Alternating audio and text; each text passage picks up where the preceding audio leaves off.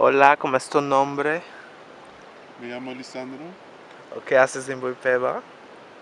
Estoy aquí por hacer mi proyecto. Mi proyecto es sobre esclavitud y la memoria emo- inmaterial de la esclavitud y la diáspora.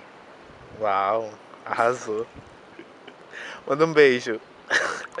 Manda um beijo para as pessoas. ¿Cuándo qué? E eu digo assim, manda um beijo para as pessoas. Oh. Mua. Oh.